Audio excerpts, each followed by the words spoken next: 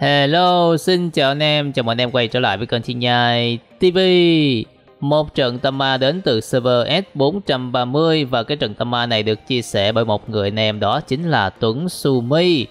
Như vậy hiện tại trong bản đồ chúng ta đang có 31 đội và chuẩn bị giao tranh rồi. Búp bự lên, hút vô các kiểu. Nga Mi đang đứng núp rất xa anh em ạ à, Để chờ hỗ trợ cho chúng ta, đó. Chơi Nga Mi là anh em phải biết ý cái điều này nha. Đó là mình chỉ việc đứng ở phía sau thôi. Chờ đồng đội hết máu, anh em lao vào bóp máu. Chứ mình lao vào sớm quá, anh em bị khống chế là không hỗ trợ được cho team. Như vậy là chúng ta đã win được pha giao tranh đầu tiên và hiện tại các thành viên của mình đang cố gắng ôm farm để hồi máu. Và như vậy, số đội bắt đầu sụt giảm rồi. Chúng ta còn sai 6 25 rất lẹ luôn anh em ơi. 23 đội. Wow, Quá kinh khủng. Như vậy, anh em có thể thấy được là trong bản đồ tầm ma này, Các team đang giao tranh với nhau cực kỳ kịch tính còn 22 đội. Rồi, bây giờ Nga Mi đặt thêm cái vòng nữa, không đặt vòng mà bật búp ba cho Thiếu Lâm anh em ạ. À. Nga Mi vẫn chưa full máu. Tiểu Giao đang chuẩn bị di chuyển về khu vực số 19 và Thiếu Lâm chúng ta cũng hưởng ứng theo bật búp bự lên, chuẩn bị mở combat như vậy bên khu vực số 19 khá là trống rồi đã có team úp về khu vực số 19 và họ đã thoát thân. Qua khu 18 có team đó là Côn Lôn, thêm hai phái gì nữa em ạ. À. Hai con côn lôn đang rượt đuổi nhau và chúng ta đã bắt khống chế kết thúc được một côn lôn. Tiếp tục ở trên có cả một dương môn. Rồi anh em ơi, mình đang phun máu, dương môn côn lôn đều yếu máu. Wow, như vậy anh em đã lựa chọn phương pháp rất an toàn. Đó là chúng ta tiếp tục ở lại khu vực số 18 để farm. Rồi đánh như thế thì rất là chắc chắn nha anh em ạ à. Và bây giờ chúng ta còn 19 đội Rồi gồng bút bự lên Chạy về khu vực số 6 anh em ơi Ở trên đó có hai con nó yếu máu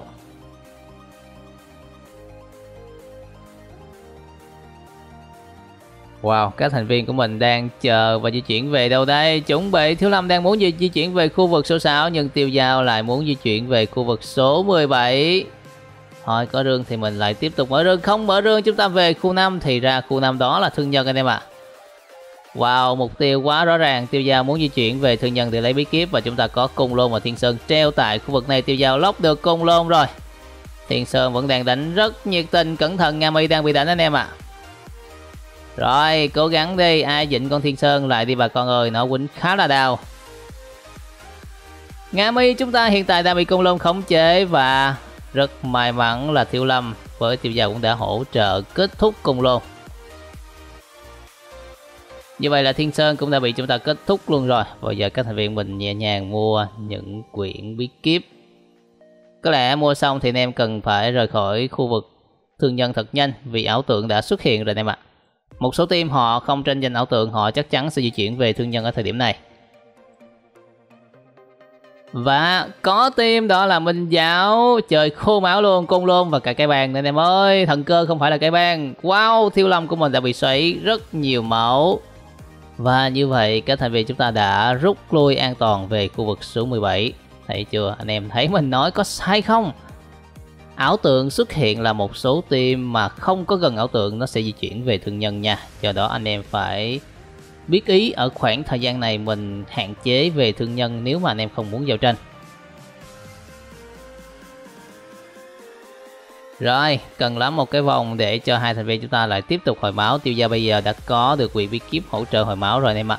Chúng ta trở lại khu vực số 5 và di chuyển về khu vực số 6. Bên này có team Công Lôn Thần Cơ và Dương Môn. Đây là cái team lúc nãy đây anh em ơi. Rồi, chúng ta đã bắt được Cung Lôn. Cung Lôn đang bị khống chế.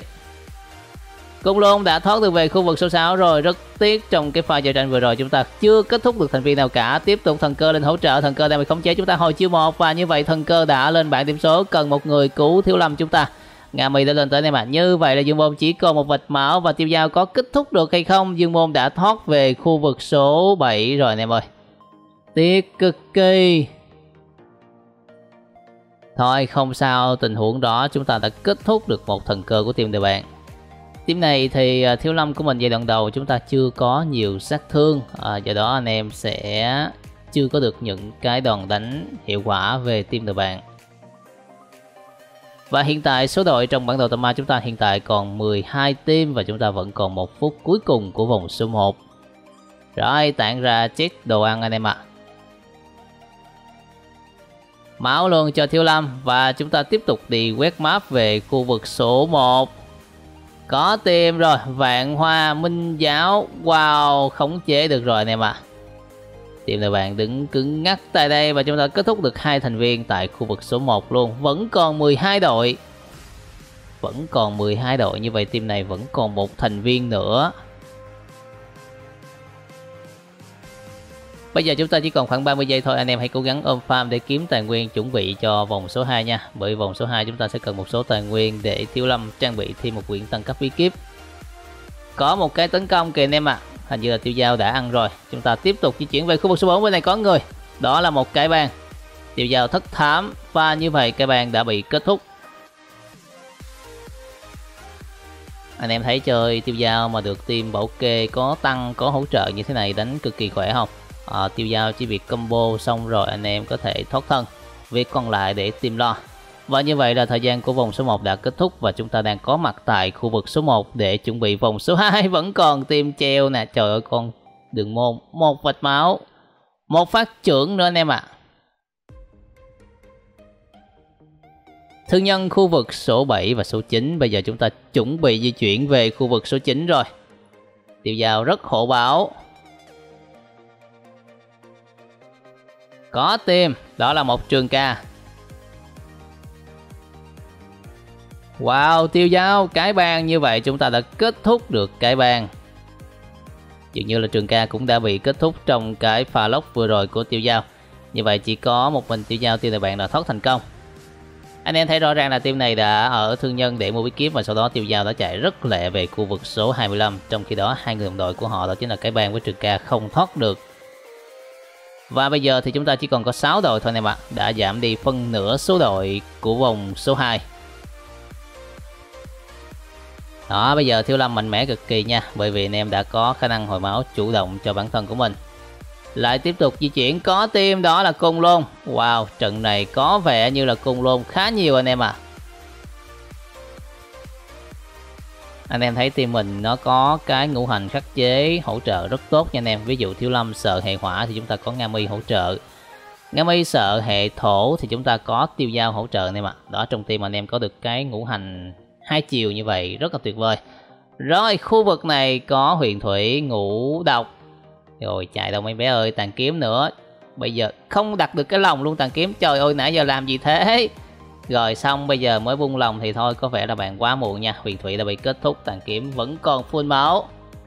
Và như vậy là tàn kiếm với ngũ độc đã thoát về khu vực số 15 ngũ độc ra làm gì vậy Ôi, con vịt máu mà má. Ôi, rồi xong ôi, ai, làm sao mà tha được? Làm sao mà tha được? Vô chơi khô máu nó luôn, em ơi.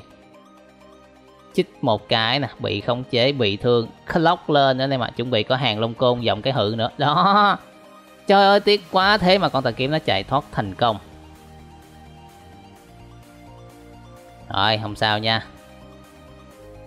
Như vậy là con ngũ độc đang có mặt tại khu vực số 16 Chắc chắn là như vậy. Ngũ độc lại lên trứng nữa rồi anh em ạ à. Chúng ta có chiều hốt. Chạy đâu bé ơi. Và thế là ngũ độc phải lên bảng điểm số thôi. Và sau khi ngũ độc lên bảng điểm số, chúng ta đã mất đi một đội trong bản đồ tầm ma như vậy, khả năng tàn kiếm bị kết thúc cũng khá cao anh em ạ à.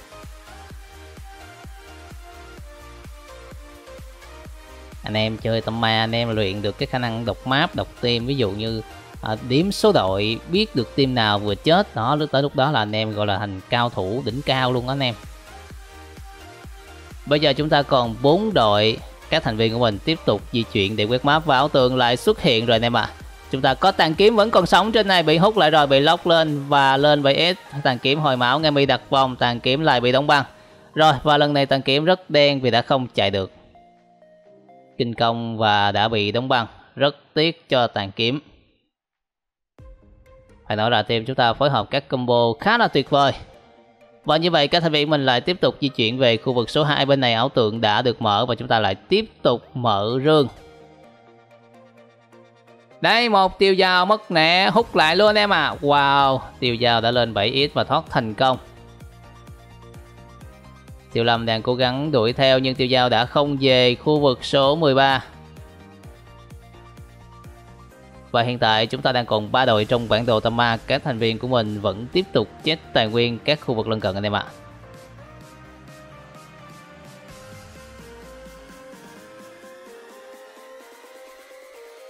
Tiêu Giao, Tiêu Giao có bạo kích nha Nga My ơi, hãy cẩn thận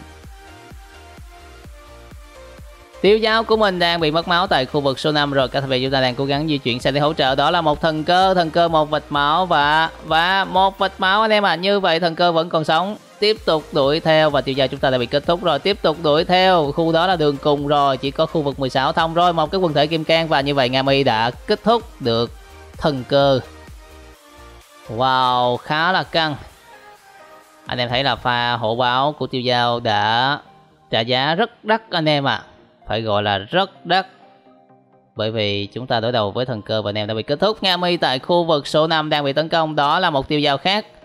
Như vậy chúng ta chỉ còn một tiêu giao trong bản đồ Tama này. Rất có thể trận Tama sẽ kết thúc tại đây. Và như vậy là trận Tama đã kết thúc rồi, anh em ạ. Tuyệt vời. Phải gọi là các thành viên của mình đánh cực kỳ hổ báo. Và chúng ta đã có một trận Tama rất nhanh và như vậy là trận Tama đến đây là kết thúc rồi. Nếu như anh em yêu quý cái trận Tama này, hãy cho mình xin một like nha. Và đừng quên đăng ký kênh của mình để theo dõi video tiếp theo. Mình xin chào và hẹn gặp lại anh em ở những video sau.